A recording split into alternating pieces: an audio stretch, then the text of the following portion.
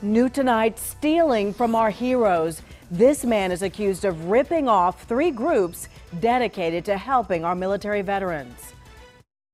Someone you trusted with so much because we do for so many in the county, and it's like, you know, stabbing them in the back on the battlefield.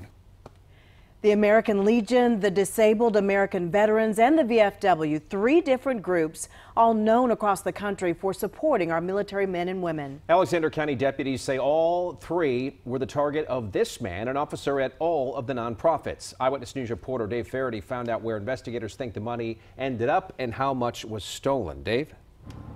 Scott, we found out this afternoon that the suspect in all this was taken into custody here outside the VFW while volunteering. The sheriff told me earlier that more than $5,800 is now missing from the three organizations, but that number could go up. Outside the Disabled American Veterans south of Taylorsville, members are in disbelief after deputies arrested their treasurer, James Benfield, along with his girlfriend, Martha Dixon.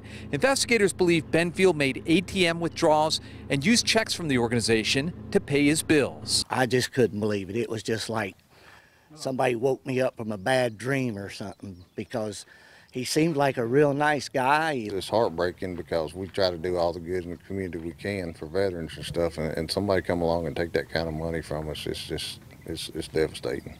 Channel 9 has learned Benfield was also the second commander at the VFW and the commander at the American Legion in Alexander County. Deputies say both organizations are reporting money missing and believe Benfield embezzled it. We went to his home north of Taylorsville today, but no one came to the door. This afternoon, we could see veterans with the VFW remove storm damage from the yard of a World War II veteran. The groups say they also built handicap ramps for other veterans and hope what happened doesn't tarnish their image. Can't understand it and cannot believe it. Someone you trusted with so much because we do for so many in the county, and it's like, you know, stabbing them in the back on the battlefield. And we found out earlier that Benfield is out of jail tonight on a $15,500 bond. The sheriff says that the investigation is ongoing and there's possibly more charges in this case. Reporting live from Taylorsville, I'm Dave Faherty, Channel 9 Eyewitness News.